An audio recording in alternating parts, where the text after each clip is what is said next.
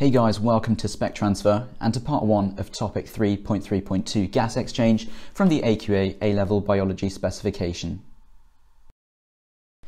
So the specification wants us to have a look at adaptations of various gas exchange surfaces, including the surfaces of single-celled organisms, the insect tracheal system, the gills of fish and the leaves of dicotyledonous plants. Then the spec also wants us to look at the structural and functional compromises between having efficient gas exchange whilst limiting water loss with a focus on terrestrial insects and xerophytic plants. This is what we'll look at in part one. In part two, we'll then move on to the structure of the human gas exchange system, the essential features of the alveolar epithelium and how this is adapted for efficient gas exchange, and then finally, the antagonistic interaction between the external and internal intercostal muscles, as well as the role of the diaphragm in facilitating ventilation. So let's start off with single-celled organisms and how they are adapted for efficient gas exchange. Single-celled organisms have a large surface area to volume ratio, as well as a thin cell surface membrane, which provides a short diffusion path. Therefore, gas exchange can take place by diffusion across the surface of the single-celled organism, and therefore no gas exchange system is needed. Next we have insects. Gas exchange in insects relies on something called the tracheal system. The tracheal system is a series of tubes that supply respiring cells with oxygen directly. By pumping the abdomen, air is drawn in and out of the tracheae. This maintains a favourable concentration gradient for the diffusion of oxygen and carbon dioxide into and out of respiring cells. Air enters the tracheae through pores on the surface of the insect called spiracles. Oxygen diffuses down a concentration gradient towards the respiring cells. The tracheae branch off into tracheoles, which have thin, permeable walls that border respiring cells. Oxygen then diffuses from the tracheoles directly into the respiring cells. Carbon dioxide diffuses out of the respiring cells towards the spiracles down its concentration gradient and is then released into the atmosphere. So how do insects minimize water loss to the surroundings? First of all, the spiracles can be closed to prevent water loss. The drying out of a living organism, by the way, is known as desiccation, which is a key term to know for exams. Furthermore, there are hairs around the spiracles which trap humid air, creating a low concentration gradient of water vapor between inside the insect and just outside the spiracles, reducing the rate of diffusion of water vapor out of the spiracles and therefore reducing the risk of desiccation. There are also air sacs around the tracheae to provide an extra supply of oxygen if the spiracles have to be closed for a longer period of time for some reason. Insects can't be bigger as the tracheal system wouldn't be able to meet the organism's oxygen demand. This is because a bigger organism would require more oxygen due to the presence of a larger number of cells which all need oxygen for aerobic respiration, yet the diffusion distances would be much larger and therefore it would take far too long for oxygen to reach respiring cells by diffusion.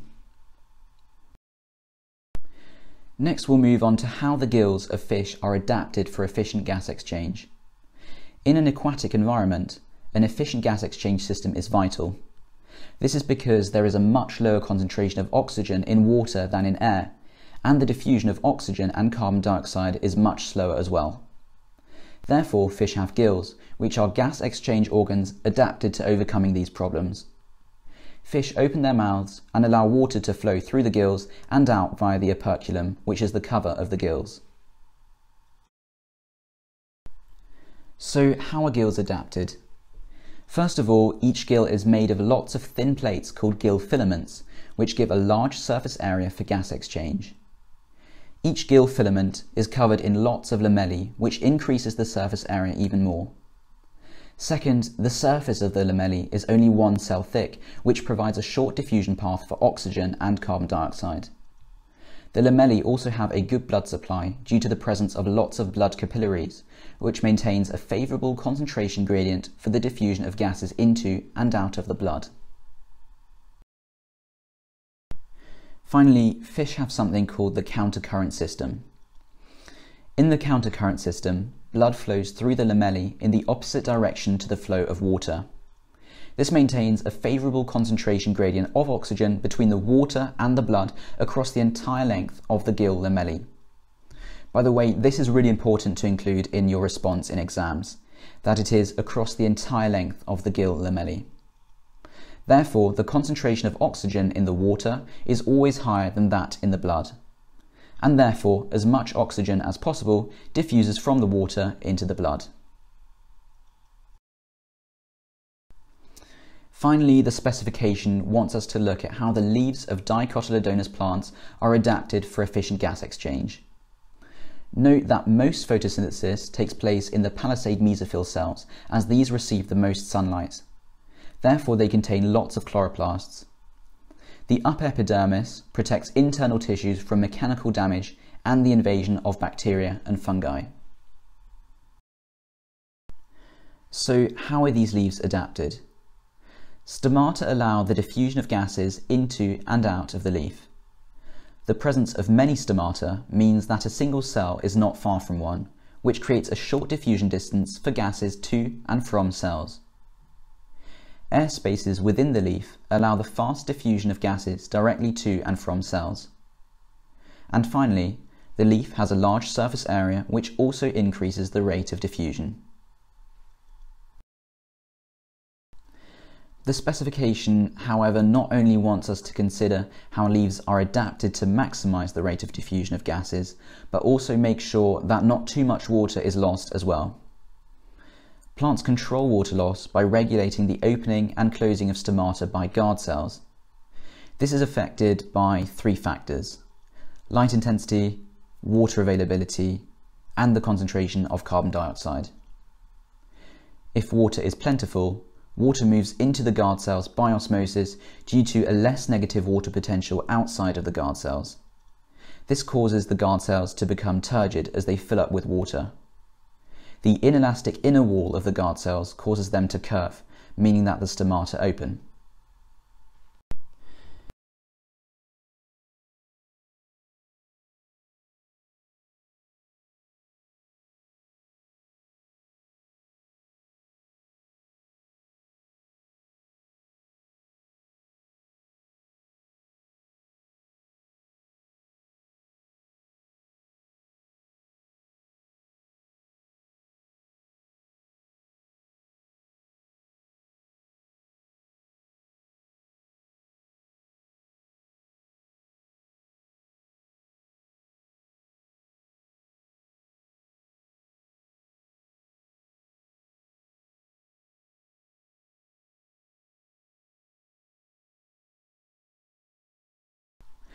If water is scarce, the opposite happens.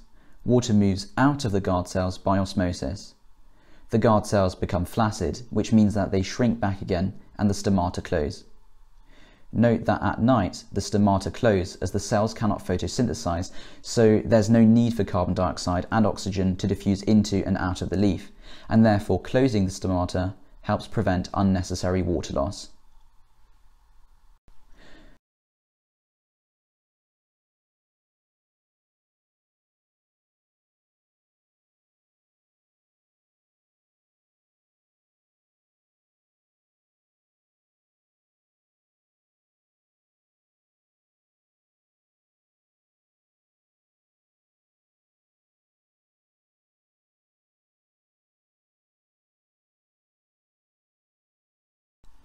Leaves also have a waxy cuticle on their surface which reduces the evaporation of water from the surface of the leaf.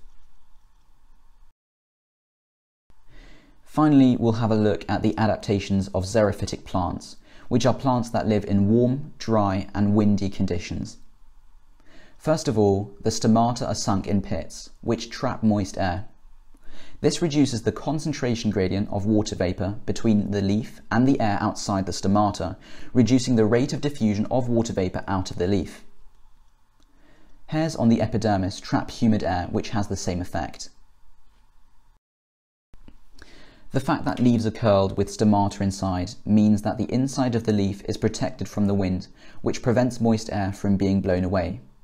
Again, this reduces the concentration gradient of water vapour between inside and outside of the leaf. Xerophytic plants have a reduced number of stomata, resulting in fewer places for water vapour to diffuse out of the leaf. They also have a waxy, waterproof cuticle on their leaves and stems, but take care in exams as this is not an adaptation of xerophytes specifically, as the surfaces of many other plants also have waxy cuticles. So if the question asks for adaptations of xerophytic plants specifically, do not include this feature in your answer. Great, so now we've covered single-celled organisms, gas exchange in insects, the gills of fish, and the leaves of dicotyledonous plants, whilst also looking at how water loss and the risk of desiccation is minimised. Yo, thanks guys for watching. That's the end of part one of 3.3.2 gas exchange. To watch part two, just follow the link bottom left. Adios.